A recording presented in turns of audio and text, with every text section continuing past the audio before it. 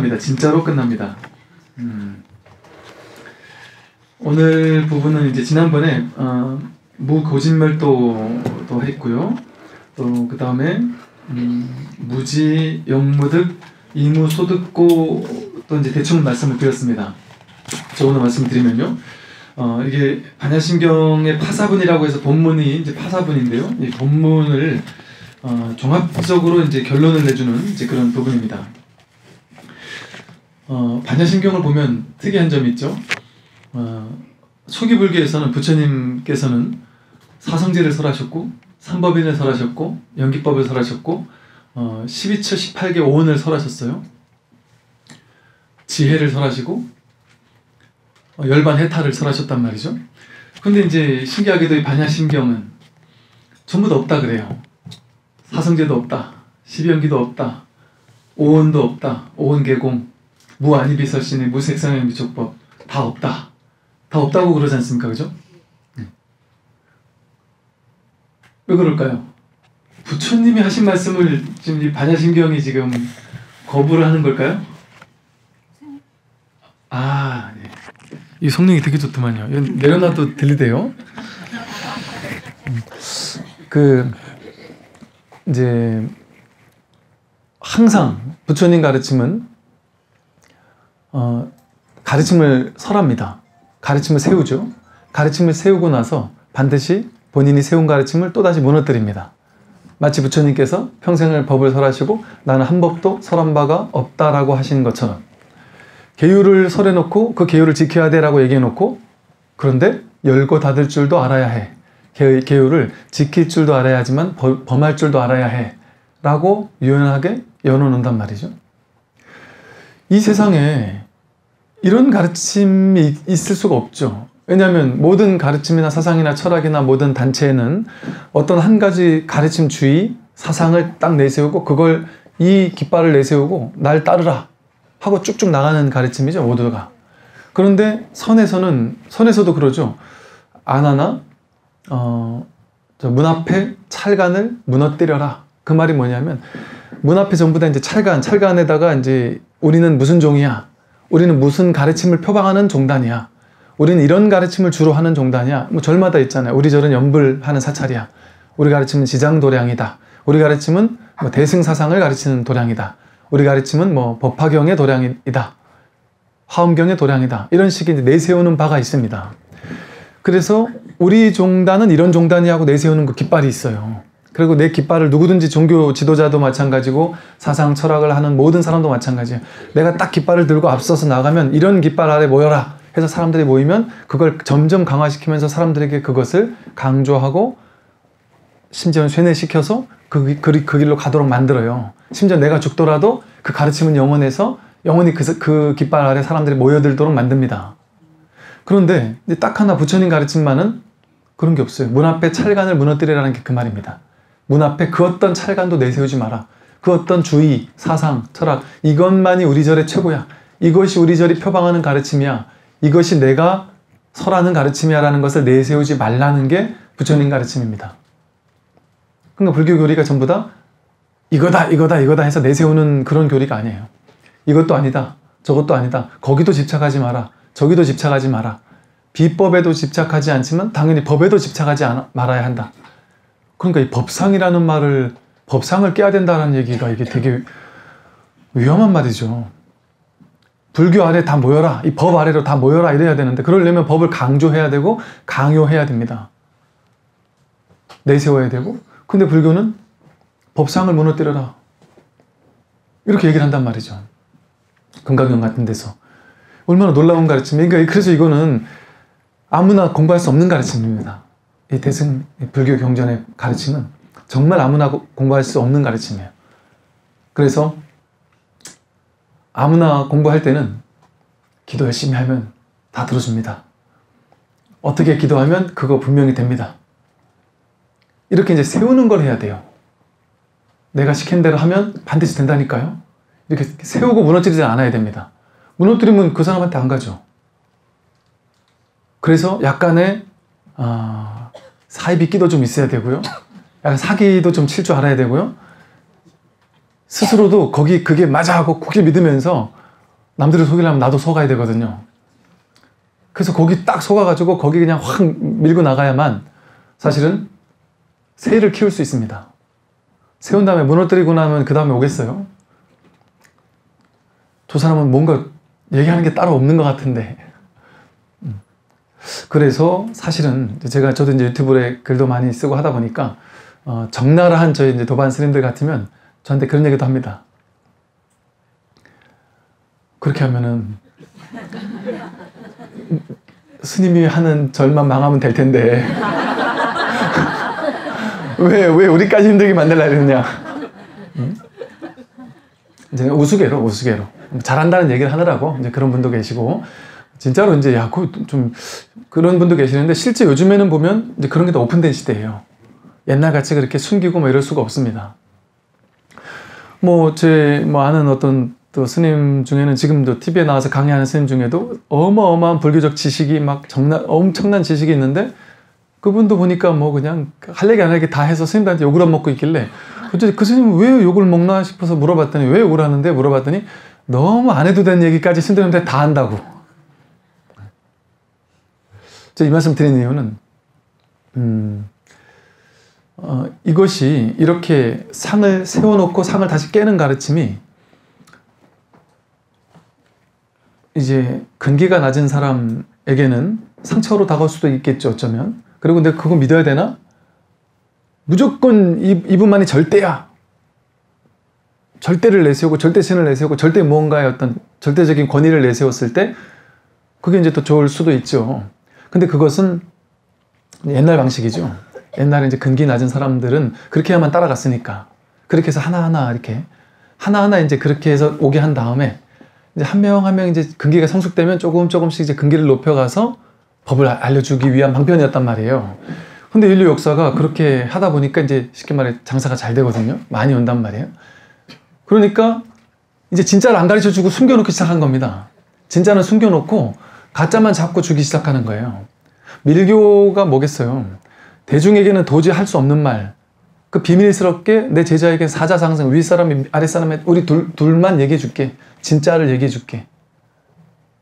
뭐, 뭐, 이렇게 얘기하면 또 이제 뭐 그쪽에서 아니라고 할 수도 있지만, 뭐, 하여간 그런 수도 있을 수 있다는 것이죠.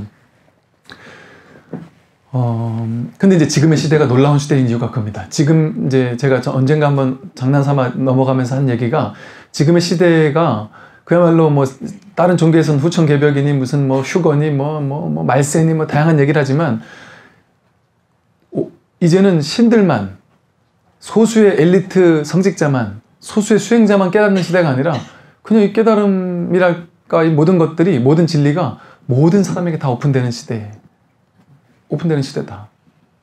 숨길 수 없는 시대이고 그렇기 때문에 이제 소수만 수행력이 높아지는 게 아니라 모두가 집단적으로 모두가 그야말로 공부가 상당히 높아질 수밖에 없는 시대에 돌입을 했어요 지금. 그래서 이제는 뭐 숨기고 이럴 수도 없고 이제는 그렇게 하더라도 이렇게 숨겨놓고 안 가르쳐 준 게 없이 다 오픈을 하더라도 이제는 성숙해서 다 안다는 거죠. 그렇게 얘기를 다 합니다. 그러니까 옛날 사람들은 그러죠. 옛날 정치인들 보면 무슨 뭐, 그 국민들은 무슨 뭐, 뭐, 짐승과 같아서 뭐, 뭐, 막 이래, 이렇게만 하면 최소한으로 뭐 어찌고만 하면 된다느니 이런 식으로 막 나라를 다스리는 사람도 있었다 그러잖아요. 그러니까 이제는 그런 시대가 아닌 것이죠. 모두가 다 그야말로 지혜롭고 지금 뭐 학벌만 봐도 다들 요즘에는 다 대학도 나오고 뭐 대학원 나오고 뭐 이제 그런 어떤 이런 차, 이게 없는 시대이고 다 이제 이해를 하는 시대죠. 조금 이제 여담이 있었고요. 그 반야심경이 어, 부처님 당시의 가르침을 500년 정도 지나면서 한 4, 500년 지나면서 너무 부파벌교에서 부처님 가르침을 절대화하고 자꾸 이제 이걸 절대시하면서 그 교리화 시키는 이런 일이 벌어진 거죠. 그래서 다시 부처님의 본 뜻으로 되돌아가자는 의미에서 이 대승불교 경전들이 나왔고 그 반야심경도 그러한 경전이죠. 그래서 반야심경에서는 부처님 가르침 핵심으로 돌아가는 얘기를 하고 있습니다. 언뜻 보면 반야 부처님은 사성제 설했는데 왜 반야심경 사성제를 깨지? 이렇게 착각을 하는데 부처님이 왜 사성제 설하셨겠습니까? 중생들의 근기에 맞춰서 중생들이 괴로워하니까 괴로워하지 않는 사람에게는 사성제 설할 필요가 없죠. 고를 설할 필요가 없고 고의 원인을 설할 필요가 없어요. 고가 없는데 고를 왜 얘기를 해요? 고가 본래 없는데 고가 있다고 착각하는 사람에게만 고진멸도를 설하는 거죠. 내가 태어났어. 나라는 게 있어. 나는 진짜야. 이렇게 내 몸과 마음이 나라고 동일시해서 진짜라고 착각하는 사람의 사, 사람은 나가 있잖아요. 내가 있고 내 몸이 있고 이게 나라는 존재가 생겨났잖아요. 생로병사를 겪고 있잖아요. 그러니까 생로병사라는 괴람의 원인을 설하면서 십이연기를 설하는 겁니다. 그런데 본래 무생법인을 증득한 사람이라면 본래 노병사가 없음을 확연히 깨진 사람이라면 생, 생한 바도 없어요. 나라는 게 없어요. 늙고 병들고 죽는 것도 당연히 없습니다. 그러니 그런 사람에겐 십이연기를 설할 필요도 없죠. 그러니까 이 십이연기를 설하고 사성제를 설한 것은 방편입니다. 중생들 스스로의 괴로움에 빠져서 괴로워하는 중생들을 위해서 그 괴로움이 허상이라는 것을 설하기 위해서는 환상의 병이 있는 사람에게는 필히 환상의 약이 필요해요. 진짜 약이 필요한 게 아니라 환상, 환상만 깨주면 되거든요. 그러니까 환상의 약을 주는 겁니다. 부처님의 모든 가르침 전부 다 환상의 약입니다. 환상의 병을 치유하기 위한. 그래서 반야심경에서 다 없다고 하는 이유는 본래 본래 이런 게 없다. 본래는 없습니다. 근데 우리가 착각하니까 분별 망상을 가지고 착각하니까 있다고 여기면서 스스로 괴로웠다라고 착각하니까 그 괴로움을 깨주기 위해서 있다 있다라고 했었던 것일 뿐이죠. 근데 본래는 그런 게 없죠. 본래는 없습니다. 그래서 여러분들이 어, 본래는 부처야 이렇게 얘기를 하잖아요. 본래는 부처입니다 이렇게 얘기를 하고 또 그런데 이제 실감이 나나요? 본래 부처라는 말이 실감이 안 나잖아요. 근데 사실은 음, 이제 부처에 대한 상이 있어서 그래요. 부처는 이런 걸 해야 돼. 부처는 30 이상 80종호를 막 구족해야 되고 부처는 막 전생도 보고 실수를 안 하고 몸이 아프지도 않고 뭐든지 마음 먹은 대로 다 할 수 있거나 뭐 신비주의적이고 카리스마 넘치고 뭐, 뭐 나름대로의 이제 부처라는 깨달음이라는 상이 있으면 그 상을 부처라고 생각하고 깨달음이라고 생각하니까 그거는 체험을 못하죠. 실감을 못하죠. 나에겐 그게 없으니까. 근데 그건 내가 만든 허상입니다. 여러분 지금 여기서 부처를 실감할 수 있는 게 아니고 매 순간 부처를 실감하지 않은 적이 없어요. 제 말을 듣고 있죠? 이 말을 듣고 있는 것으로서 부처를 실감하고 있는 거예요. 두 눈으로 저를 지금 보고 있잖아요. 본다라는 그 사실로서 부처를 늘 실감하고 있는 거예요. 매 순간 부처를 실감하지 않을 수가 없습니다. 숨 쉬고 있는데 아까부터 지금 제 얘기 들을 동안 숨 억지로 시, 숨 쉬려고 노력한 사람 있습니까? 누가 숨을 쉬었어요? 부처라고 하면 안 돼요. 그것도 다 무지 영무 득이잖아요. 본래 부처라는 것도 따로 없으니까. 이게 실감하고 있단 말이에요. 숨이 그냥 저절로 쉬어지고 있었습니다. 매 순간. 내가 이렇게 살아 있었어요. 모든 것이 저절로 이렇게 일어나고 있습니다. 부처는 늘 체험되고 있고 실감되고 있습니다. 근데 내가 머릿속에서 또 다른 부처, 또 다른 상. 지금 내가 이렇게 멀쩡하게 살아 움직이고 있는데 소리 다 들을 수 있고 듣는 성품 이런 얘기 들어보셨죠? 그것도 하나 방편이지만 듣는 성품이 따로 있는 게 아니고 좀 듣고 있잖아요.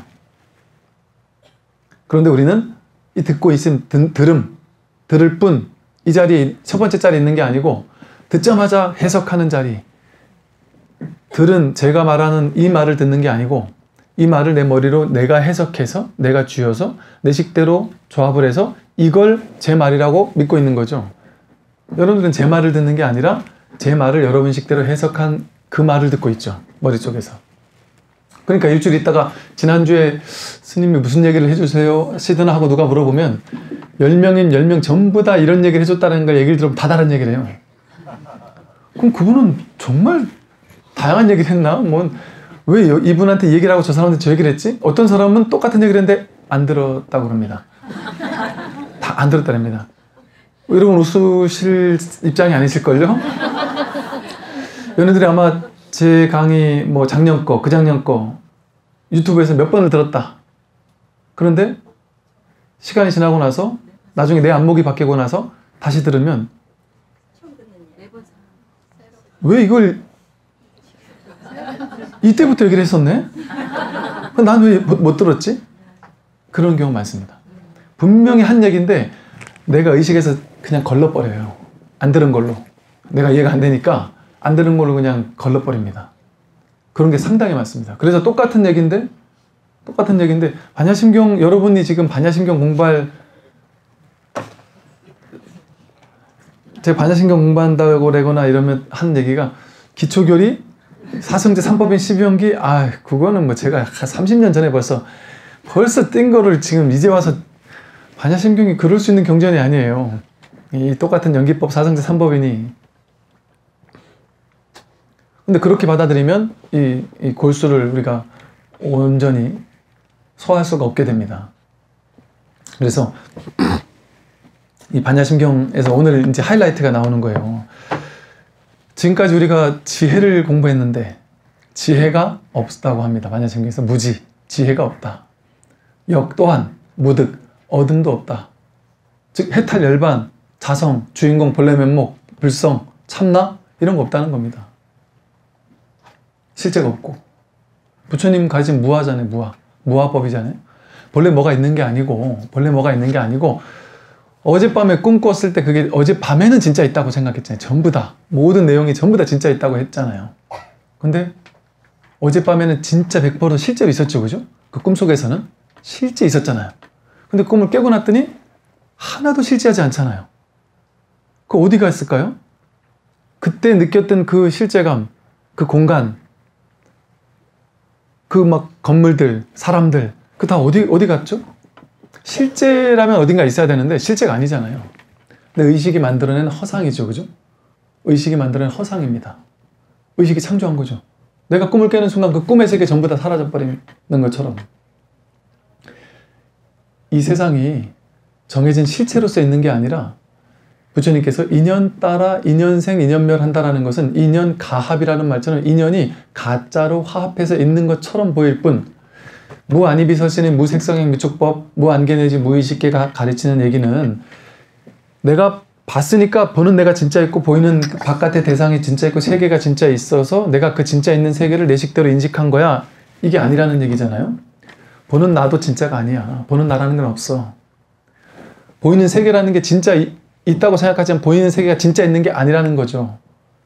진짜 있는 세계를 내 식대로 해석하고 사람들은 자기 식대로 인식하지. 그게 의식 아닙니까? 그러니까 남들은 다 각자 따로따로 인식하니까 그게 다 다르게 인식한다는 거 아니겠습니까? 그런데 그 의식이라는 것도 바깥 대상이라는 것도 전부 다 실체가 아니라는 거죠. 근데 어떻게 생겨납니까? 어떻게 창조됩니까? 눈과 바깥 보이는 것들과 의식이 3, 4 화합이 돼서 눈이 있음으로써 바깥 경계가 있고 바깥 경계가 있음으로써 눈이 있습니다. 바깥 경계는 있는데 눈이 없어도 보지 못해요. 눈만 있고 경계가 없어도 볼 수 없어요. 근데 이 두 개는 연기적으로만 있을 수 있습니다. 여러분들이 동네에 있는 것 중에도 거의 평생을 못 보던 것도 많을걸요? 맨날 지나가는 길에서 못 보는 거 많습니다. 그런 것처럼 눈이 있다고 보는 게 아니에요. 눈과 색이 인연 따라 있는 것처럼 느껴져요. 그걸 십연기에서는 안근이 색경을 촉할 때 촉이라는 것 자체가 접촉할 때 눈으로 보는 그 접촉에서 이 촉, 입철할 있잖아요. 촉이라는 것은 있다라는 느낌, 뭔가 있는 것처럼 착각되는 마음을 촉입철라고 한다 그랬어요.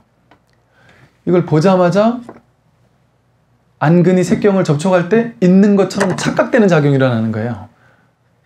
그걸 이제 한 바퀴 돌아서 가면은 생노사가 되는 거죠. 진짜 생긴 것처럼. 이 진짜 생하고 있는 것처럼 착각되는 의식인 거죠.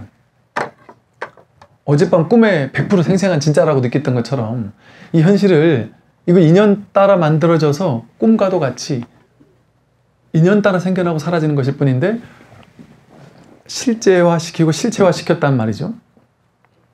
그래서 그걸 쥐고 그 진짜라고 여기고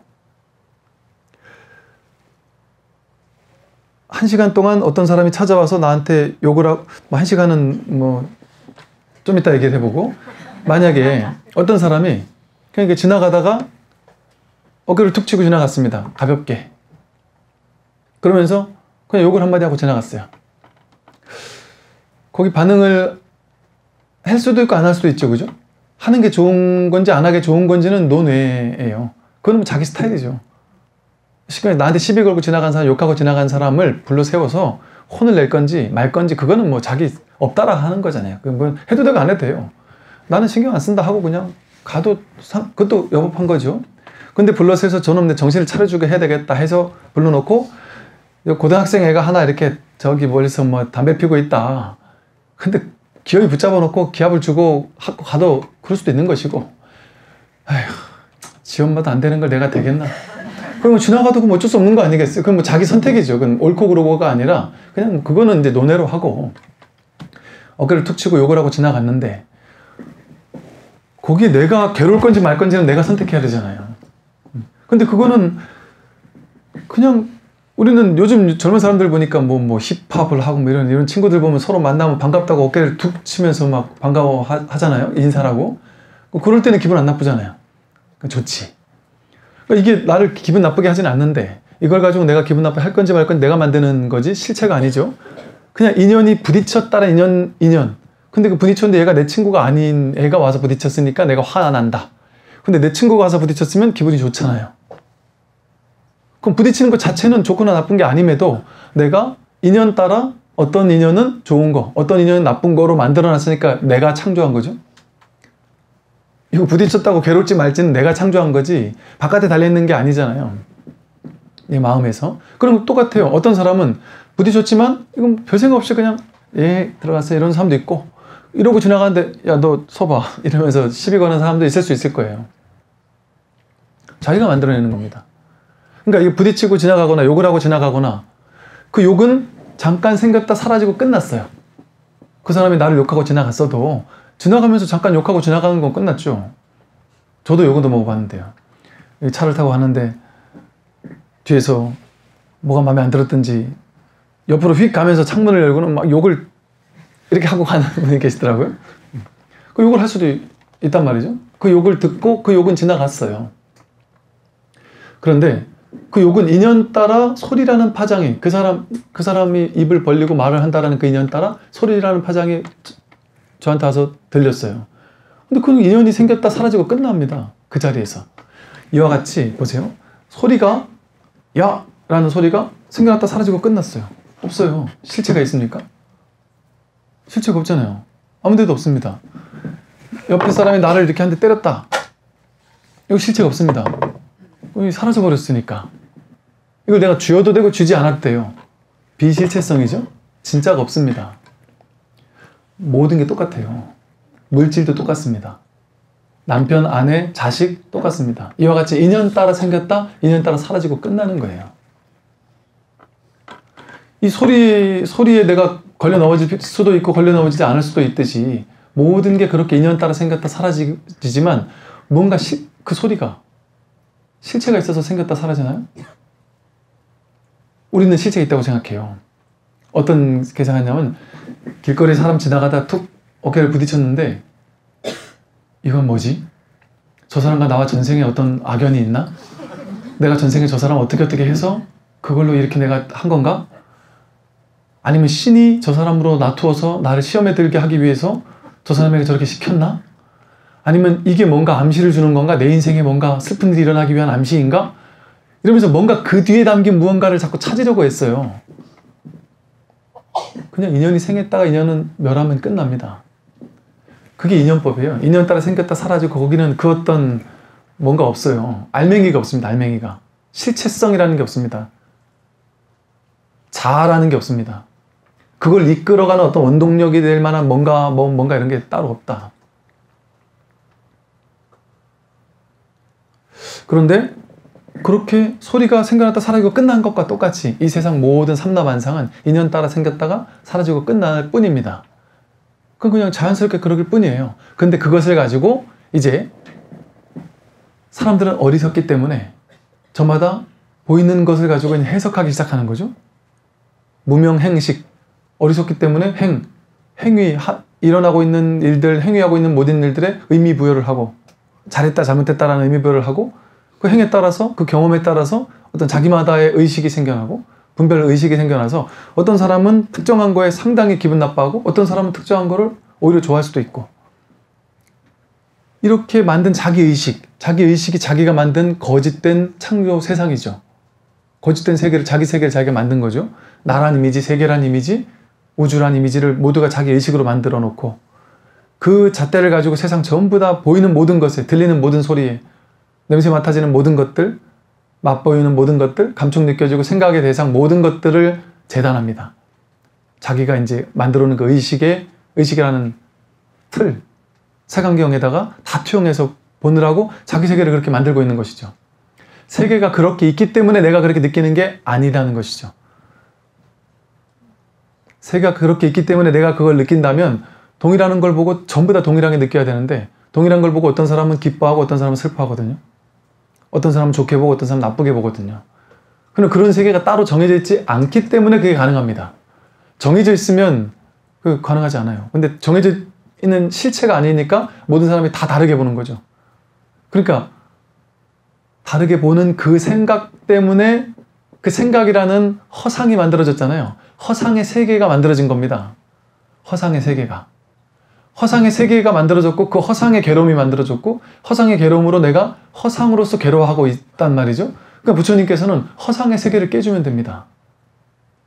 세계가 진짜 있다라는 게 내 마음속에 있는 허상이니까 그 허상을 깨주면 내 마음속에 허상이 깨졌을 뿐인데 모두가 멸해버립니다. 정멸. 있다라고 여겨지는 모든 것들. 그것이 정멸한다. 정멸은 완전히 멸해서 아무것도 없다는 소리거든요. 공도 마찬가지죠. 아무것도 없다. 다 있으면서 아무것도 없는 거예요. 이게 이제 완전한 허무지와 다른 것이죠.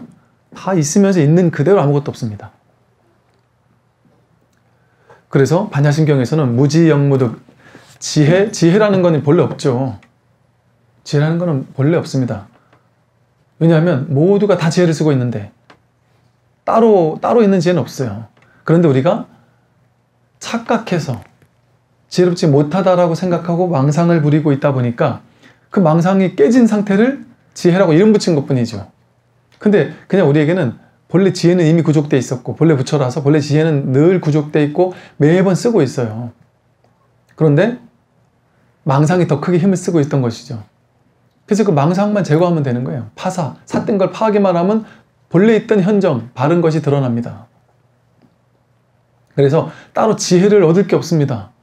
지혜는 뭐 본래 구족된 상태이고 본래 구족된 상태라는 것은 지혜란 이름을 쓸 필요도 없죠. 지혜란 이름도 필요 없어요. 지혜라고 이름 붙이면 그거는 어리석음, 지혜롭지 못한 것과 상대적으로 만든 가명, 가짜 이름이거든요. 가짜 이름. 그러니까 본래 지혜도 없습니다. 얻음이라는 것도 따로 없다. 본래 얻을 게 없기 때문에. 우리는 얻고 잃는다고 생각하지만 얻는 것 따로 없습니다. 언제나 원망구적 상태 그대로입니다. 아닌데요? 나는 아파서 건강한 사람에 비하면 너무너무 괴롭습니다. 나는 지금 너무너무 힘듭니다. 너무너무 괴롭습니다. 꿈속에서 아무리 괴로워한들 그 실체가 아닙니다. 꿈을 깨면 끝나죠? 그 꿈에서 괴로운 것을 다 해결하려고 하면 그래서 그렇게 하려고 하면 끝날 수가 없습니다. 근데 옆 사람의 괴로움, 뒷 사람의 괴로움, 친척의 괴로움, 모든 괴로움을 다 없애줘야지만 꿈이 불국토로 바뀌어요. 가능합니까? 내가 수조 원이 아니라 수천조 원이 있어도 그건 불가능합니다. 전 세계 모든 사람들에게 그 돈을 다 나눠줘도 그 사람들 다 행복하게 만들 수 없어요. 돈으로 행복하지 않은, 돈이 문제가 아닌 괴로움인 사람들이 또 얼마나 많습니까? 그러니까 금강경에서 칠보를 전 세계 3천 대천 세계를 무한히 보시한다고 할지라도 이 경전 한 구절 공부하는 거, 수지 독송하는 것만 못하다. 산술적, 그 어떤 산술적 비유로도 그걸 비교할 수조차 없을 만큼 이 법을 공부하는 공덕이 훨씬 크다. 라고 한 이유가 그겁니다. 그래서 본래 우리는 완, 완벽하게 부족한 상태인데 그것은 중생심으로 보면 부족하지 않았죠. 중생심으로 보면 부족하지 않지만 진실로 보면 본래 구족되어 있다. 꿈을 깨기만 하면 꿈을 깨기만 하면 그 일체의 꿈속에 있었던 모든 중생들의 모든 괴로움을 한 방에 끝낼 수 있죠. 도노, 몰록, 몰록. 이게 어찌 보면 요즘에 한 방에 뜨는 걸 뭐 좋은 게 아니다 그러는데 이 공부는 이야말로 한 방입니다. 예, 꿈에서 깨면 끝나는 거기 때문에 그게 위대한 거죠. 왜냐면 금강경의 비유처럼 삼천 대천세계는 일체 중생을 구제하려고 아무리 다녀봐야 다 구제 못합니다. 그런데 내가 꿈에서 깨고 나면 일체 중생이 다 꿈에서 깨어나는 거예요. 왜? 내가 바로 둘이 아닌 하나라는 사실을 온전히 깨닫는 것이기 때문에. 그래서 본래 얻을 것도 없습니다. 근데 우리는 얻어야 된다 하고 막 사로잡혀 있고 그렇게 하고 있지만 이미 지금 나에게 있는 것 그게 전부 전부다. 그래서 이렇게 마음을 돌리면 아주 가벼워지죠. 나는 지금 나에게 있는 것 그것을 원하겠다. 지금 나에게 있는 것을 원하겠다. 그럼 그건 이루어졌어요, 이미. 이미 이루어졌기 때문에 더 추구할 필요도 없습니다. 근데 지금 있는 이대로 이길 원하면 삶은 이대로 자유롭습니다. 그런다고 해서 더 열심히 살지 않느냐? 아주 더 열심히 삽니다. 저 사람이 저렇게까지 열심히 살 필요 없는데 할 정도로 열정과 에너지를 투영하며 삽니다. 부처님처럼 그렇게 평생을 인도 부처님이 활동하시는 지도를 보면 인도란 땅이 워낙 넓지만 우리 우리나라 한반도로 따지면 막 수백 개 이상 아마 모아놓은 거리일 거예요. 우리는 서울에서 부산도 한 번도 걸어가 본 적이 없잖아요. 근데 우리나라 남한 땅 몇 수십 개 이상 되는 그 땅을 걸어서 평생을 다니셨어요. 법을 설하기 위해서. 한도인이라고 해서 한가해서 할 일 없는 도인이라 그러잖아요. 깨달은 자들. 한가한 겁니다. 마음은 한가한 거예요. 몸은 모든 것을 하면서도 마음을 한가한 겁니다. 그래서 지금 이대로이길 원하셔도 충분합니다. 그러더라도 머무는 법 없이 마음을 내게 돼요. 집착하지 않을 뿐이지 집착하지 않는 사람은 더 순수한 열정이 피어오릅니다. 나는 내일을 크게 집착하지 않지만 생각이 없는 건 아니에요. 그게 어린 아이들이 아무것도 모르는 것과 우리 어른들과 다른 거죠. 어린 아이들은 진짜 몰라서 모르는 거지만 어른들은 생각할 거 다 하면서 생각한 바에 집착하지 않는 거예요. 이 마음 공부라는 것은. 생각 다 합니다. 열정을 다 일으키고 돈도 벌고 사회 기여할 거 다 하고 할 거 다 하지만 거기 과하게 취하지 않고 집착하지 않는다. 그래서 얻으면서도 얻는 바가 없어요. 얻는 바가 없으면서도 다 얻지 않은 게 아무것도 없고. 그래서 지금 여러분의 부처가 된 다음에 그렇게 되는 것이 아니라 지금 내가 그와 같다는 겁니다, 사실은. 이미 다 구족돼 있습니다. 원만 구족. 난 아파서 남들보다 오래 못 살 것 같은데요? 그냥, 저, 죽으면 되죠. 어차피 니나 나나 다 죽을 건데. 그리고 뭐 100년, 뭐 100년 천상세계 시계를 보면 눈 깜짝일 시간이라 그러잖아요. 눈 깜짝일 시간인데 뭐 1초 더 있다가 가나 0.0001초 좀 더 사나 사실 별거 아닌데 의식이 50살에 죽는 것과 80살에 죽는 건 엄청난 차이라고 생각하는 거지 50살, 80살 그런 게 없습니다. 여러분이 지금 50살이세요? 80살이세요? 그런 거 없어요. 그냥 지금이지. 분별하지 않으면 지금 여러분은 그냥 지금 이대로일 뿐이지 나이가 내가 50년 산 게 진짜 50년 산 것 같습니까? 시간이라는 게 마음에 따라 달라지잖아요. 어떨 때는 시간이 금방 지나가고 어떨 때는 어떤 때는 1년이 확 지나가는데 어떨 때는 1년이 엄청 길 수도 있잖아요. 마음에서 시간을 경험되는 거지 시간이란 실체가 없어요. 그냥 마음이 그렇게 경험할 뿐입니다. 그러니까 여러분들이 50년 후에 죽는 사람은 상당히 건강하게 오래 살아서 성공하는 사람인데 10년 뒤에 죽는 사람은 실패하는 사람이다. 자기 그 생각하는 거죠. 그렇게 생각하고 있는 거죠. 그런 일이 없습니다. 50년 더 사는 일, 30년 더 사는 일이 그런 일이 없고 그냥 지금이다, 지금. 근데 여기서 뭐 오래 살고 적게 살고 난 오래 살아야 되는 뭐, 뭐 이런 생각을 할 필요가 뭐가 있겠습니까? 지금 여기 이렇게 듣고 제 얘기를 듣고 있는데 차를 비싼 차를 타고 오나 싼 차를 타고 오나 옷을 비싼 옷을 입고 있나 작은 옷 뭐 싼 옷을 입고 있나 무슨 차이가 있어요? 얘기 듣고 있는데 그게 의식이 안 돼요. 없는 겁니다. 어제 아는 어떤 이제 신도님께서 우리 부산에 계신 신도님께서 아주 그 보살님이시고 거사님 돈도 많이 버시고 부자신데 그 보살님이 그렇게 보, 보석 이, 그분한테 제가 이 얘기 써먹어도 되냐 물어봐서 써, 써먹으라고 적극 써먹으시라고 얘기 듣고 하는 얘기예요. 그분이 그때 엄청난 걸 깨달았답니다. 그래서 그 얘기를 해주시길래 제가 감동적이어서 말씀드리는데 그분이 결혼한 이후로 남편도 돈도 잘 벌겠다.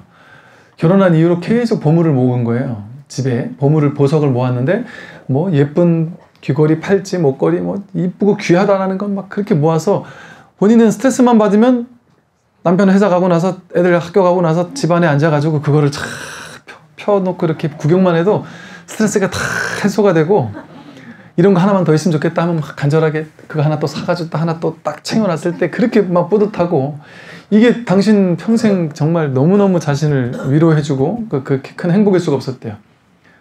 그러니까 이걸 집안에 막 콩콩 숨겨놓고서 늘 그것만 바라보는 즐거움. 그래, 그건 뭐 수집하는 즐거움. 그래서 그 연세가 지금 꽤 되셨으니까 그 연세가 되시는 동안 계속해서 평생을 그 비싼 걸 모으신 거예요. 그래서 그 하나 모을 때마다 막 그렇게 희열을 느끼고 막 그렇게 행복감을 느끼셨다 그래요. 근데 어떤 일이 벌어졌을까요? 도둑이 맞았습니다. 그냥 단독주택 살았는데 도둑이 들어서 그거를 홀랑 다 가져간 거예요. 그래서 이제 찾아주겠다 하고 이제 경찰서에 가가지고 경찰이 이제 조사를 해야 되잖아요. 차마 나는 얼만큼 잃어버렸다는 말을 못 하겠더래요. 경찰이 나를 저 진짜 저, 런 미친 여자가 다 있나 하는 생각할까봐 저렇게 보석을 저 미친 듯이 모으는 저런 여자들이 있구나. 저 정신 골라 골빈 여자가 있구나. 이렇게 생각할까봐 차마 그 보석이 얼마짜리인지 말도 못했대요. 부끄러워서. 그래서 경찰서에 실제 신고한 액수는 훨씬 조금만 신고를 했다 하더라고요. 그거를 남편한테 얘기를 못했대, 지금까지. 저한테 하면서 제 남편한테는 비밀입니다. 남편도 이렇게 비싼 거라는 걸 모른다는 거예요. 남편은 그냥 뭐 몇십만 원 하나보다 이렇게 생각할 거라고. 그렇게 정말 애지중지하면서 정말 모았는데 하루아침에 도둑을 맞았는데 그날 그날 그냥 멍하더래요. 이 세계가 그냥 다 무너진 것처럼 너무 멍하더래요. 그런데 하루 종일 멍하고 너무 막 괴롭기도 하지만 하루 종일 집안에 앉아서 그냥 멍하니 앉아 있었는데 신기하더래요. 신기하게 단 한 번도 지금까지 느껴보지 못한 그 이면에 또 다른 마음이 하나가 있는데 그 마음은 뭐냐 하면 자유로움이더래요. 너무 신기하더래요. 이게 집에 있다 보니까 이거를 내가 그 어디 은행에 가면은 이렇게 뭐 고, 맡겨주고 뭐 이런 할래니까 또 비싸고 막 이런 온갖 고민도 많고 이게 도둑들 멋쩌나 막 이랬는데 막상 도둑들을 다 가져가고 나니까 이제 내가 여기 얽매일 필요가 없겠구나. 왜냐면 이제 애들도 좋은데 취직 다 했고 이제 남편도 뭐다뭐 하나 바랄 게 없는 거지 더 이상. 근데 이제 이거 하나 보고 살았는데 이거 하나 보고 내 인생 즐거움을 느끼고 살았는데 이게 없어지고 나니까 신기하게 자유롭더래요. 가볍더래요. 시간이 지나고 나서 정말 이거 없는 게 그렇게 자유롭구나. 지금은 어떠시냐 물어봤더니 지금은 전혀 안 산대요. 살 필요성도 못 느끼고 근데 이제 다만 이 도둑이 들어온다는 게 겁이 나서 칼이라도 들고 왔을 텐데 겁이 나서 바로 아파트로 이사를 가셨더라고요. 그런데 그분 말 얘기를 가만히 들어보니까 야 그럴 수 있겠다 싶더라고요. 그러고 나서 이분이 달라진 점이 많을 뿐 아니라 절에도 더 열심히 나오게 되고 공부 마음 공부도 더 열심히 하게 되고 지금 정말 공부 열심히 하는 보사님이시거든요. 그러니까 뭐 집착, 욕심 이런 게 별로 없으세요. 지금도 보면. 그냥 늘 베풀기 좋아하고 뭐막 이렇게 남들 사주기 좋아하고 그래서 참 이렇게 뭐 이렇게 마음을 그래 쓰셔서 신기해서 여쭤봤더니 이제 그 그런 사연을 얘기하시더라고. 사실 나도 그러지 않았다. 나도 모을 때는 그 모으고 싶을 때는 그렇게 썼겠어요. 이거를 내가 조금만 더 모으면 내가 원하는 걸살 수 있는데 못 쓰죠. 그러니까 너무나도 자유로워졌다는 얘기를 하시더라고요. 그렇게 있을 때만 원망부족한 게 아니라 없다라는 것이 더 자신을 깨닫게 할 수 있어요. 이게 이걸 평생 죽을 때까지 가져갔었으면 그걸 깨닫지 못하고 그걸 실천하지 못하고 돌아가셨을 겁니다. 근데 물질은 인연 따라 생겼다 사라지잖아요. 아까 욕 한마디 한 게 생겼다 사라지고 끝난 것처럼 물질은 생겼다가 사라지고 끝납니다. 그리고 또 어떤 분은 제가 상담했던 분들 보면요. 돈이라는 게 참 신기하다고 그런 얘기를 하세요. 그분도 상당히 부자셨는데, 어, 본인이 이제 스스로 부자라고 생각을 하셨는데, 그 부자라고 생각한 이유가 큰 비싼 집 한 채를 가지고 있으니까 부자라고 생각을 했어요. 그런데 불과 딱 두 달, 딱 두 달 만에 이 집을 팔 생각도 없었는데 어찌어찌 어찌 하다가 그냥 갑자기 내가 뭐 귀신이 흘린 것처럼 갑자기 이상하게 왜 집을 판지도 모르겠다. 그래서 갑자기 집을 팔게 됐고 집을 팔고 나자마자 자세한 얘기는 제가 또 프라이버시에 있으니 자세히 말씀 못 드리겠지만 팔자마자 그분 표현을 이랬어요. 바닷가에서 오래를 이렇게 잡으면 스르륵 해서 싹 순식간에 다 사라지는 것처럼 그 서울 핵심 요지에 있는 그 비싼 아파트 한 채가 내 전 재산이 딱 두 달 만에 내가 아무것도 한 것도 없는데 정말 그냥 그냥 사라져 버렸대요. 그냥 사라져 버렸답니다. 물론 이제 거기에는 이제 나름대로 이런저런 사연이 있죠. 그래서 뭐 이거 이거 하다 보니까 어찌어찌 하고 또또 게다가 이제 사기 당한 분 얘기 들어보면 또 더 이게 더 황당합니다. 평생을 모아놓은 돈을 이분한테 주면 뭐 뻥튀기 준다 그랬는데 이게 사기 당한 얘기 이런 얘기들 많이 있거든요. 그러니까 이분이 뭐라 했냐면 지금 제가 스님 앞에 앉아 있는 지금 오늘로부터 두 달 전까지만 해도 저는 그런 사람이었다. 근데 두 달, 딱 두 달 만에 지금 뭔 일이 벌어진지 모르겠다. 어떻게 이런 일이 있을 수가 있느냐. 인생은 이렇죠. 이것만 이러겠어요?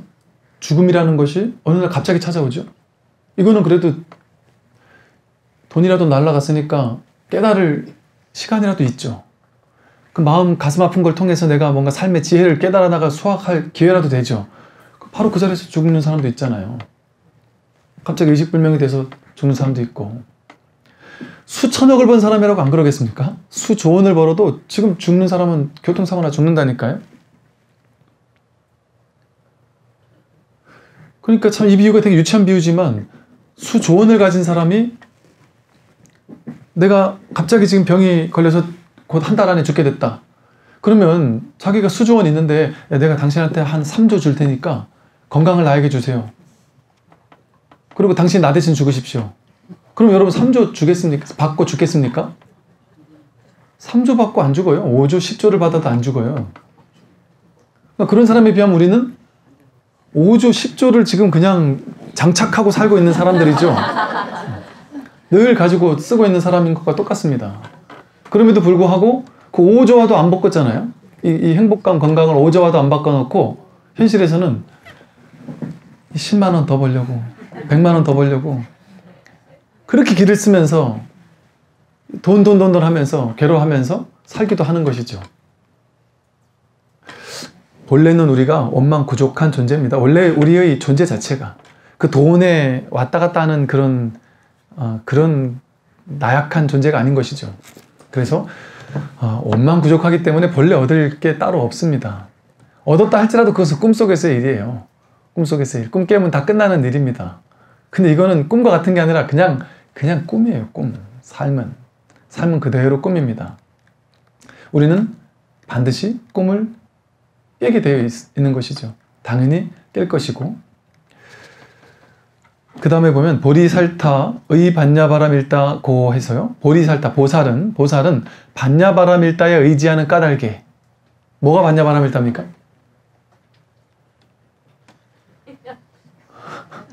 이게 정답입니다. 아무 말도 할 수가 없어요. 부처님 가르침은 뭐 말을 할 수가 없어요. 내세울 게 없어요. 중도, 여러분, 연불 30분 한다 이건 알지만 중도를 30분 닦는다 이런 얘기 해보셨어요? 중도를 1시간 닦는다 뭐 이런 얘기는 절 천배한다 이건 알아도 중도, 뭐 반야바라미를 천번 한다 이런 건 생각도 안 해보셨잖아요? 그렇게 할 수 있는, 형상화 시킬 수 있는 무언가가 아닙니다. 반야바람일 때는 반야 지혜, 반야가 지혜잖아요. 지혜로 지금 내 중생의 세계에서 난 지금 중생의 허망한 망상의 세계를 살고 있지만 망상의 세계가 아닌 망상이 없어진 이 지혜, 지혜를 통해서 망상을 없애는 삶 그게 반야바람이거든요.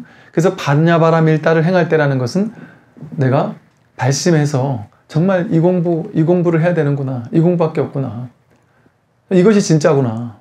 진짜, 진짜 공부구나. 이 사실에 분명하게 뿌리를 내려서 발심을 하는 그 공부를 한다는 겁니다. 그래서 중도의 공부고 반야바라밀의 공부예요. 이러한 이 공부에 대한 뿌리를 확고하게 내려야 됩니다. 그래서 내가 근데 절에 다니는 사람들의 특징이 뭐냐면요. 그 담배도 아닌데 끊었다 피웠다 이렇게 하듯이 옛날 제가 한 20년 전에 우리 목탁설의 회원이었던 분들 계세요. 그러니까 한 20년 만에 만나면은 요즘엔 어디 절 다니세요? 물어보면 아이 저 기도 끊은 지 오래됐습니다. 절 끊은 지 오래됐습니다. 끊었다가 또 본인이 너무 힘들 때 또다시 이제 어디 또 주변에 없나 하고 이렇게 또 찾아보고 이렇게 공부를 한단 말이죠. 당연하겠지만 그건 이제 반야바람일딱 아닙니다. 왜냐하면 이 겉에 드러난 현상 세계 현상 세계에 뭔가 끌리는 게 있으니까 현상 세계라는 거짓된 환상의 모양 모양 중에 특별히 예쁜 게 눈에 띄는 거예요. 특별히 마음에 드는 게그 거기 사로잡혀서 1년, 2년을 보냅니다. 그러다가 그것도 시큰둥해지면 이제 다시 이제 마음 공부하러 왔다가 그런 방식으로 우리는 왔다 갔다 하잖아요. 그게 반야바람일다에 의지하지 못해서 반야바람일다에 딱 확고부동하게 중심이 잡혀 있지 않아서 발심이 되어 있지 않아서 그렇습니다. 그러니까 출가하는 스님들을 대단하다고 하는 이유는 머리 깎은 것 때문에 아닙니다. 요즘에는 뭐, 뭐, 뭐 무슨 노래하는 사람도 그렇고 머리 깎는 사람 많아요. 흰색 옷이야 뭐 그냥 뭐, 뭐 이상한 도인들도 많이 입을 수 있죠. 마음, 마음대로 입을 수 있죠. 그리고 이게 별로 실용적이지 못합니다. 이 승복이. 나 이거 좀 바꿨으면 좋겠는데. 발심을 했다는 것 때문입니다. 발심한, 심, 그래서 심출가라 그러잖아요. 발심은 마음으로 하는 거잖아요. 발심, 즉 나는 죽을 때까지 이 공부가 내 인생 전부야. 최고, 최고의 공부야. 그걸 금강경에서 그렇게 얘기하는 거예요. 금강경에서. 정말 비유도 그렇게 진짜 그렇게 심한 비유가 없어요. 정말 그 저 한강에 모래알 개수만큼 많은 삼천 대천 세계가 있는데 삼천 대천 세계를 그 많은 삼천 대천 세계 전부를 칠보로 다 하는 것보다 이 범소유산 계시현망 금강경 사국에 하나 공부하는 게 훨씬 셀 수 없을 정도로 훨씬 낫다.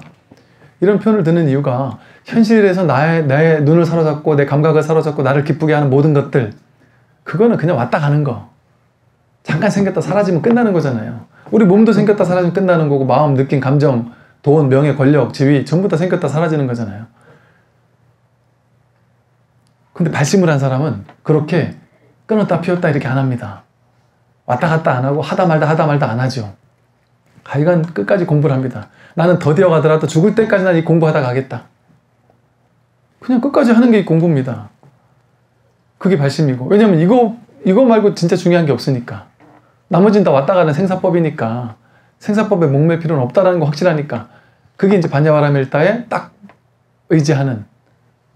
의지할 바가 없는 거죠. 그러니까 반야바라밀다에 의지하는 까닭이 했지만 의지할 데가 없어요. 이건 뭐, 뭐, 뭐가 이렇게 기댈 만한 게 있어야 여기 이렇게 의지를 하지. 의지할 뭔가가 없는 거죠, 이 공부는. 어디에도 의지할 데가 없습니다. 내세울 게 없고. 그게 진정한 반야반을 따라 의지하는 겁니다. 어디에도 의식이 머물지 못하도록 하는. 그래서 반야바람일 따에 의지하는 까닭의 보살은 이제 지금까지 앞에 공부해왔던 그 공부를 하면 이제 어떤 공덕이 있느냐 하는 공덕, 공능분입니다. 어떤 공덕이 있는지, 어떤 결과가 나에게 찾아오는지. 이렇게 여러분들이, 즉, 여러분들이 보살입니다. 여러분들이 이렇게 반야바람일 따 의지하는 까닭에 의지해서 발심해서 내가 이 공부, 이 공부를 정말 내가 끝까지 하겠다. 이 발심을 하는 까닭에 어떤 일이 생기느냐면 심무가의 마음에 걸림이 없어집니다. 우리는 전부 다 마음에 걸리죠. 살다가 좋은 거 보이면 거기 걸리고 걸린다는 게 좋은 거 보면 갖고 싶고 싫은 거 보면 밀쳐내고 싶고 근데 눈에 띄는 것들을 전부 다 취하고 버리는 게임을 한단 말이에요. 좋은 건 갖고 싶고 싫은 거 버리고 싶은 이 취사 간택의 놀이. 내 마음을 머물게 만드는 거예요. 마음을 걸리게 만드는 겁니다. 좋은 거에도 걸리고 싫은 거에도 걸리죠. 좋은 거는 사로잡혀서 걸리고 싫은 거는 밀쳐내고 싫어하고 미워하는 마음 때문에 걸려요. 얼마나 마음이 세상 모든 것에 걸리는 걸 보면 정말 기가 찹니다. 정말 어이가 없습니다. 정말 화닥지가 나고요. 여러분 마음 공부하고 심지어는 그 뭐 우리가 속칭 표현하는 견성이라는 걸 체험을 한 사람들도 똑같아요 한동안 오히려 더 생생하게 보일 수 있죠. 자기가 이렇게 번뇌망상이 많았나? 하는 게 생생하게 보이니까 더 막 화가 나고 더 침체될 수도 있어요, 때로는. 그래서 이제 꾸준히 공부를 하는 것이지만. 우리가 걸리는 거 보면 정말 어이가 없습니다. 너무 작은 거. 정말 너무 작은 거. 정말 아무것도 아닌 거. 그죠? 지나가면서 친구가, 아이고, 요즘에 살 빠졌네. 요즘에 살 쪘네. 이러든지. 심지어는 살 쪘네도 아니에요. 아이고, 요즘에, 야, 보기 좋다. 건강해 보이네. 혼자 생각으로 두 번째, 세 번째 와서 저거 분명히 나 살쪘다는 얘기를 돌려서 말한 걸 거야. 그래서 괜히 혼자 하루 종일 스트레스 받아, 받고 있고. 남편이 한 말, 자식이 한 말, 옆 친구가 한 말. 보사님들 뭐 그런 게 있다대요. 뭐, 또, 또 연예인이 TV에 나와서 뭘 얘기를 하는데, 내 남편 직업에 대해서 옆집 엄마가 네 남편 뭐, 뭐 이렇다면서 이러면서 하는데 그것처럼 기분 나쁜 일이 없다라면서 그런 말을 하는 사람들이 이 세상에는 있을 수 있습니다. 그 사람 잘했다는 얘기가 아니고요. 그런 사람 있잖아요. 그죠? 얄미운 짓을 하는 사람들이 있어요. 당연히. 그럼 그 사람들이 다 없어져야 내가 행복할까요? 그거 없을 수가 없어요. 그런 사람 어디 가나 있습니다. 그냥 소리가 하나 일어나다 사라졌구나. 그 사람이 5분 동안 와서 나한테 막 욕을 하고 갔또 시끄러운 소리가 하나 왔다가 갔구나. 실제 그게 사실이잖아요. 소리가 그냥 왔다 갔을 뿐이에요, 그냥. 그런데 그게 안 된단 말이지, 이제 우리는. 휘둘려. 자꾸 걸, 모든 게 걸립니다. 말 한마디에 걸리는 게 제일 어이가 없어요. 근데 가만히 보면 전부 다 말 한마디죠. 전부 다 말 한마디입니다. 마음 공부한 스님들은 마음 공부가 어느 정도 됐기 때문에 말이 안 걸리느냐? 똑같습니다. 스님들이 그래서 스님들이 공부가 제대로 됐는지를 보는 어떤 뭐 몇 가지 이렇게 뭐, 뭐 굳이 그런 게 있다면 이런 거예요. 큰 스님들이 제일 걸리는 게 뭔지 아세요? 공부를 했다. 내가 공부가 많이 됐다라고 생각하는 스님들이 걸리는 거.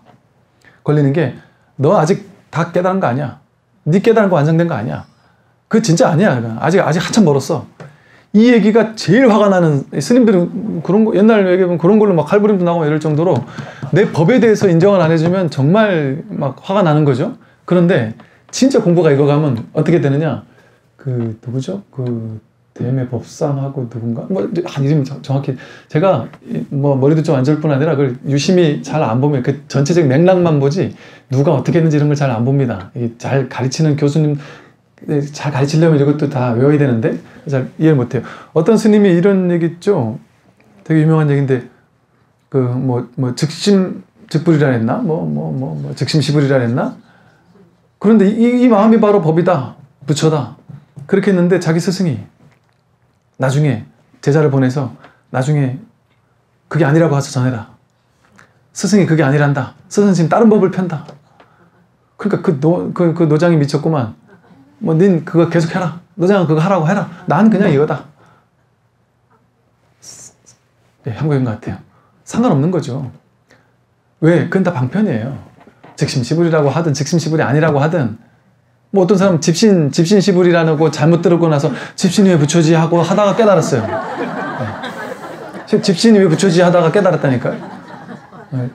즉심 시불을 그 마음이 바로 붙여다 이 소린데 그걸 해석을 못해서 그게 똑같아요. 말은 똥막대기가 붙였다는 얘기가 똑같아요. 집신 시불 하는 말이나.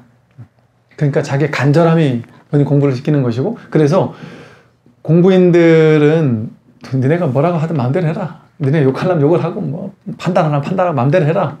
나는 내 공부한다. 이 정도니까 이제 되는, 돼야 되는데, 그렇게까지 되기가 사실 그렇게 쉽지는 않은 게 분명합니다. 그러다 보니까 그, 그 똑같아. 50보 100보입니다. 세간에서 휘, 말 한마디 휘둘리나, 나 욕하는 거 휘둘리나, 법에 대해서 휘둘리나.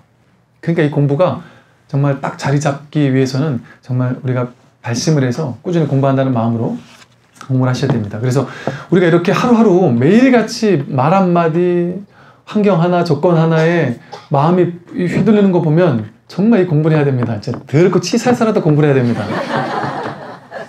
아, 정말 그렇지 않나요? 아, 저도 정말 이게 정말 더럽고 치사해서라도 나 깨달아야지 안 되겠다 싶은 생각을 정말 많이 했어요. 내가 세상에 휘둘리는 걸 볼 때마다 너무 화가, 너무 어이가 없지 않나요? 또 병원이나 한번 갔다 오고 나서 내 마음속에서 나도 저렇게 병 걸리면 어쩌지 하고 막 조바심 치는 마음을 볼 때 그 다 하나에 다 끌려가는 거예요. 다 걸려 넘어지는 겁니다. 모든 게 걸려서 괴로, 괴로, 괴롭지 않을 수가 없습니다. 그리고 또 때로는요, 좋은 일 생겨가지고 내가 막 즐거울 때, 그때 되게 꼴보기 싫습니다, 또. 똑같아요. 기, 분 나빠서 걸리는 것과 기분 좋은 거에 걸리는 거 있잖아요. 여러분 좋은 것만 막 쫓아다니고 자식이 막 저, 성적 좋았다고 해서 막 기분 좋아하고 이럴 때 스스로 괜히 안 좋은 척도 하고 그러잖아요. 앞에서는 뒤에 가서 혼자 좋아하고 너무 너무 이렇게 이런가 싶어서 남편이 보너스 딱 갖다 줘도 겉으로는 어 그래 수고했어 이러시면 뒤에 가서 좋아하잖아요. 앞에서 너무 그러면 또좀 어, 너무 돈 밝히는 사람 같으니까. 근데 사실 그게 즐거운 일을 우리가 막 쫓고 즐거운 일에 휘둘리고 또참 기분 나쁜 일입니다. 왜냐면 즐거운 일에 막 호들갑 떨고 좋아한다는 것은 곧 그 양변 시계추가 이쪽으로 이렇게 올라가면 높이 올라간 만큼 반대로 도 똑같이 높이 올라가요. 적게 올라가면 적게 올라가고 그러니까 좋은 거에 크게 휘둘리는 사람일수록 괴로운 거에 크게 휘둘린다는 거 똑같은 소리입니다. 그 양변이 똑같은 얘기예요. 그러니까 기분 좋은 거에 휘둘려도 그게 별로 기분이 안 좋아요. 걸림, 마음이 걸리기 때문에 그래요. 그런데 이 마음 공부를 하면 신무가의 마음에 걸림이 없어집니다. 무가이고 마음에 걸림이 없어지는 까닭에 무유공포, 공포가 사라진다. 여기서 공포는 쉽게 말하면 두려움을 얘기합니다. 두려움. 우리들은 전부 다 두려워하고 있어요. 두려움이 삶의 원동력입니다. 그러니까 원시시대 때부터 두려움을 피하기 위해서 사람들이 발전을 한 거예요. 짐승들이 나를 잡아먹으면 어쩌지 하는 두려움 때문에 집을 짓기 시작했고, 도망가기 시작했고, 무기를 만들기 시작했고, 밥을 못 먹고, 뭐 이렇게 보릿고개 때 밥을 못 먹으면 어쩌나 싶은 이런 마음 때문에 음식을 저장하는 것을 연구하고, 시대가 발전되게 다 그런 어떤 인간의 어떤 근원적인 두려움. 여러분도 미래가 두렵잖아요. 모두가 미래가 두렵고, 죽고 나면 어디로 갈지가 두렵고, 돈을 못 벌면 어떻게 될지가 두렵고, 노후가 두렵고, 두려우니까 지금 어떻게든 뭔가 해야 되지 않겠나 이런 생각을 하는 거잖아요. 그러니까 아무리 지금 이 순간밖에 없습니다라고 얘기를 해도 그 맞아 맞아 해놓고 나가서 두렵거든요. 음. 그렇지 않을 수가 없습니다. 그리고 또 어, 또, 또 누가 또 똑똑하신 분들도 이런 얘기를 하실 때, 이런 얘기를 했더니, 그래도 그 두려움 때문에 인간의 발전이 있습니다. 그리고 집착, 인간의 집, 집착이 있기 때문에 세상은 발전하는 겁니다. 그, 그걸 무시하자는 얘기가 아닙니다. 그게 아니라는 얘기가 아니에요. 핀트를 맞춰야 되는데 그걸 그렇지 않다는 얘기가 아닙니다. 그건 다 맞는 얘기죠. 근원에서 근원에서 우리를 괴롭게 하는 것이 무엇이냐 그 문제를 얘기를 하는 것이죠. 그래서 우리는 이 마음 공부가 어느 정도 그야말로 참 마음 공부하지 않고서는 이 세간에서 그 어떤 뛰어난 학문을 공부하고 그 어떤 많은 돈을 벌고 그 어떤 뭐 재산을 늘리고 내 전용 그 대한 세계 최고 가는 그 전용 어떤 의사를 옆에 두고 있어도 병에 대한 두려움은 있죠? 없어질 수가 없습니다. 수조원을 가지고 나를 건강하게 만들어 하는 팀이 한 100명, 전 세계 최고 가는 100명 교수들로만 이루어진 팀을 운영을 해도 난 아플 수도 있어요. 감기도 걸릴 수 있습니다. 수조원과 상관이 없어요. 내 전용 비행기가 있어도 비행기도 추락할 수도 있고요. 항상 두려울 수밖에 없습니다. 왜 두렵냐면요. 나다라는 아상을 가지고 있기 때문에 그래요. 나라는 게 있으면 필연적으로 나 아닌 게 있잖아요. 그럼 나 아닌 게 나를 공격할 수도 있잖아요. 나 아닌 거 나를 나누면 내가 저 사람과 비교해서 인식하는데 저 사람이 나보다 더 잘나면 내가 위축되거든요. 내가 더 잘나야 되거든요. 내가 더 잘나야 된다는 생각을 하면 저 사람이 나를 따라올까봐 두렵거든요. 그러니까 나라는 게 있으면 아상이라는 게 있으면 당연히 괴로울 수밖에 없습니다. 그러니까 마음 공부를 하면 나와 너가 사라지니까 원래 나다라는 게 사라지고 너다라는 게 사라지니까 뭐 괴로움이 붙을 자리조차 사라지는 것이죠. 그래서 이 공포심, 두려움, 근원적인 두려움, 죽음에 대한 공포, 미래에 대한 두려움, 막연한 두려움 이런 모든 두려움에서 완전하게 벗어날 수 있는 유일한 길, 이 길밖에 없습니다. 당연히 그렇지 않나요? 이길 아닌 딴 길에서 사람들이 이 세상 모든 사람들은 99.9%는 전부 다 다른 곳에서 행복을 찾기 위해서 달려가잖아요. 어떤 사람 돈, 어떤 사람 명예, 권력, 지위, 재산, 건강 이런 걸 향해 달려가잖아요. 전부 다. 그 엄청나게 끌어모으잖아요.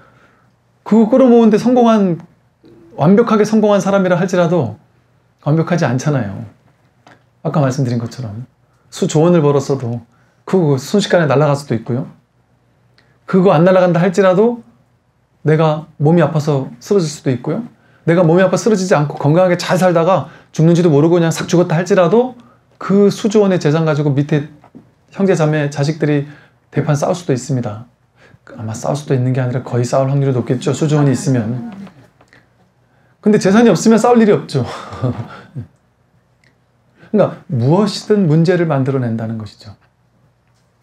그래서 공포, 괴로움, 두려움이 생겨납니다.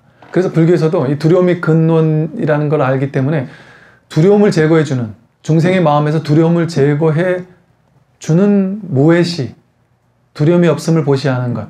그래서 반야심경을 시무해자, 무해, 두려움 없음을 보시하는 자라고 부르거든요.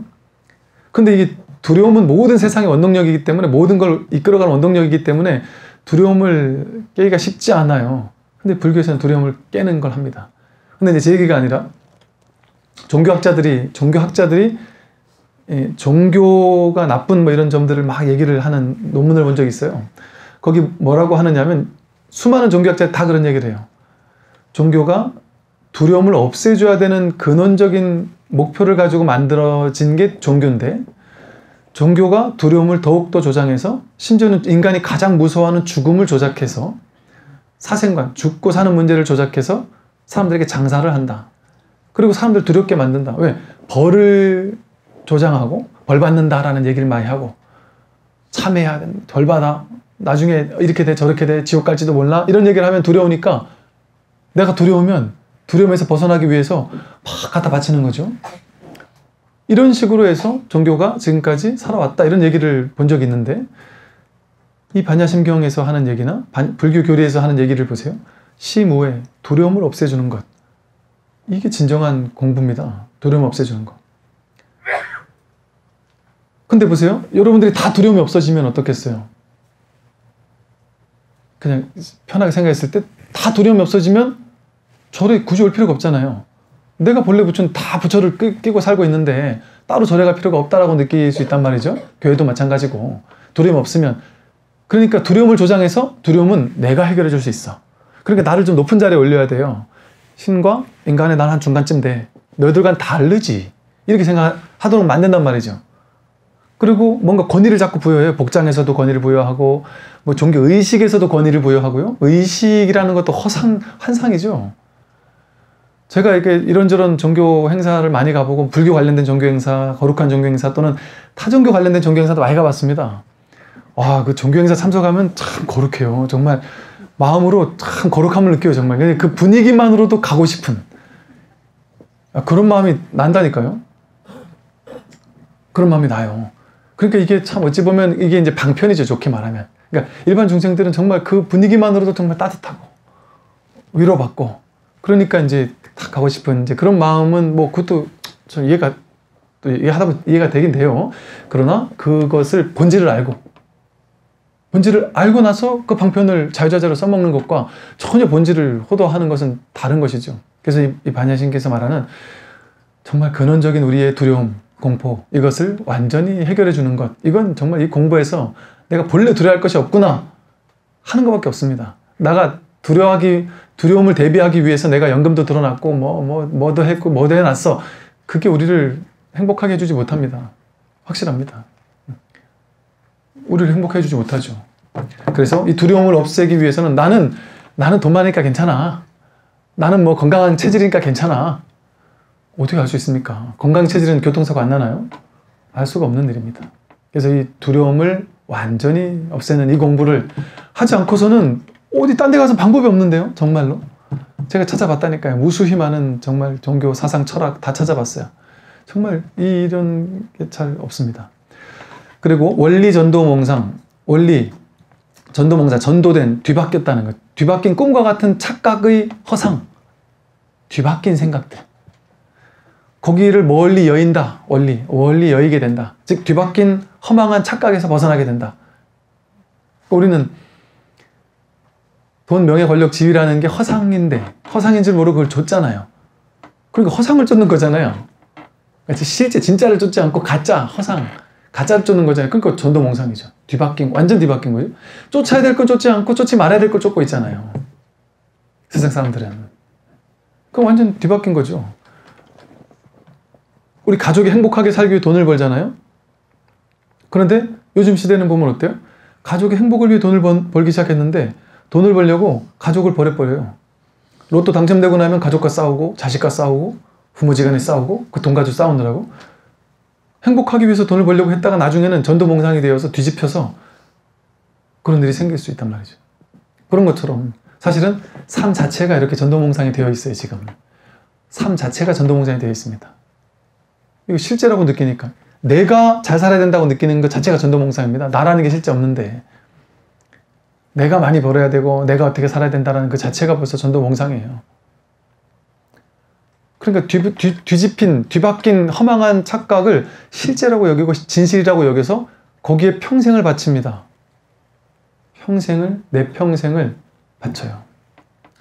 제가 언젠가 한번 말씀드렸었는데 제가 이 마음 공부를 하고 하고 하다가 어느 순간 제가 그 말씀 드렸죠. 그 한 30년 범납이 한 30년 되신 스님이 전화가 오셔서 그분 은사스님을 얘기하시는데 그분 은사스님이 이런 식으로 가르쳤다고 해서 제가 좀 그분 은사스님에 대해서 찾아봤더니 정말 전통 방식대로 고지 곧대로 믿어야 돼 하는 그런 방식대로 가르치셨더라고요.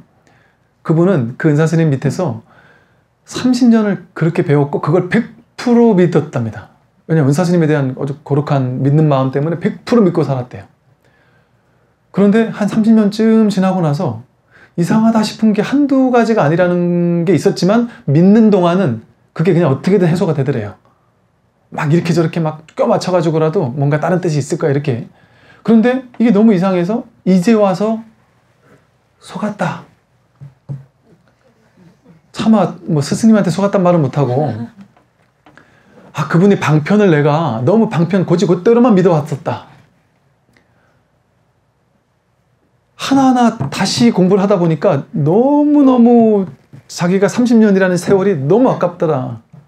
그, 그 얘기가 어느 정도 공감이 됐습니다. 저도, 저도 한 몇십 년, 야, 내가 진짜 좀 당황스럽다. 이런 생각이 들었었거든요.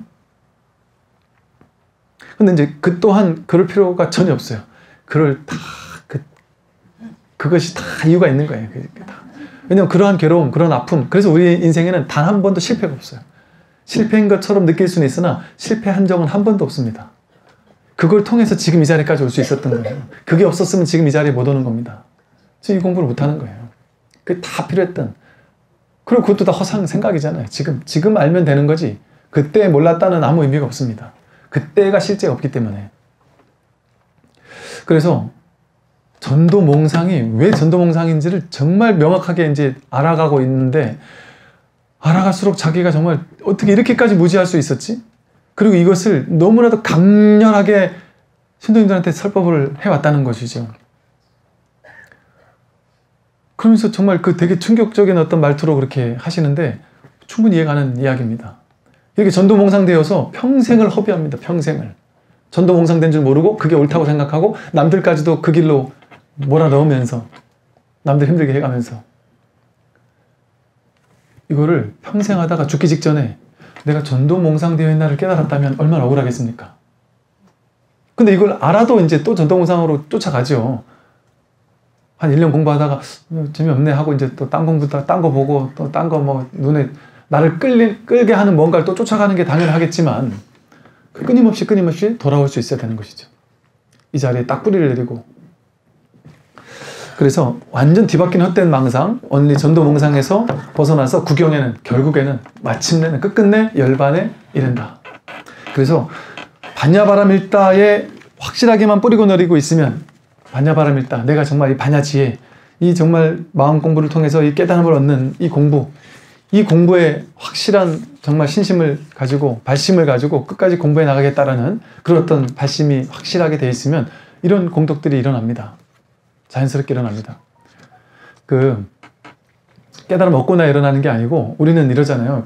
공부를 하다가 깨달음 얻는 순간에 딱 전환 일어나서 공부 끝나 끝난다 혹은 끝나고 나다도 물론 보임은 있겠지만 뭐 이런 식으로 쉽게 말해서 이 단계와 이 중생의 단계와 깨달음 이후 단계를 엄청난 갭이라고 생각해요. 엄청난 갭이 있다라고 생각해요.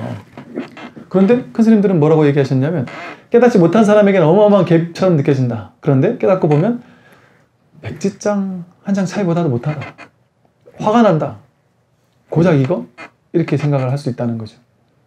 즉, 이 말은 뭐냐면, 공부는요, 꼭 깨닫고 나야지만 성숙되는 게 아닙니다. 공부는 계속해서 성숙되고 계속해서 읽어갑니다. 그리고 오히려 깨닫고 나도 오히려 자신이 아직 준비가 안 된 사람이 깨닫게 되면 오히려 더 나락으로 떨어지는 경우도 많죠.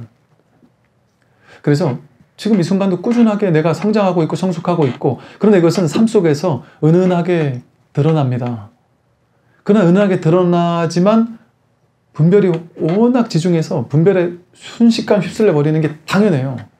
그러니까 본문 들을 땐 좋은데 나중에 가면 또 자꾸 자꾸 휘둘린다. 이거를 죄인 것처럼 얘기하지 마세요. 그럴 필요 없습니다. 당연한 것이기 때문에. 그게 공부의 과정이기 때문에. 그러면서 공부가 꾸준히 익어가는 것이고 그 공부가 익어가는 과정은 사실은 우리가 느끼기에는 조금씩 조금씩 익어가는 것 같아도 아주 그 크게 익어가는 겁니다. 그걸 저런 방편을 들죠. 6개, 3개, 무색개, 28천이 있다. 천상세계가 천이. 근데 예를 들어 뭐 여섯 번째 천이, 일곱 번째 천에 저 사람들을 보면 우리들끼리 서로 수준 다른 것과는 차원이 다르게 높게 하나님으로 본다는 거죠. 밑에 있는 사람들, 위에 천상세계를 보면 야, 유일신 하나님 이러면서 기도한다는 거죠. 근데 그 위에 올라가 보면 이게 끝이 아니었던 거죠. 그 위에 또 하나님이 있어요. 그렇게 높게 본다는 거죠. 근데 인간계에는 그 28천의 모든 정신세계가 같이 있습니다. 그러니 천상세계로 봤을 때는 여러분들이 조금 성, 공부가 성숙한 것 같지 여기서 봤을 땐 공부가 조금 성숙한 것 같지만 천상세계로 보면 몇 개 천상세계를 뛰어넘는 거 있을 수도 있어요. 굳이 방편으로 표현한다면 이런 건 진짜 완전 방편이지만 그렇게 큰 공부 정말 어, 정말 이 금강경에서 표현하는 그 말도 안 되는 비유가 정말 점점 점점 정말 정말 진실한 비유였구나라는 것이 요만큼의 거짓말도 없는 비유였구나라는 사실이 점점 더 확실해지게 됩니다. 그래서 그런 바심을 가지고 10분 쉬었다 하겠습니다.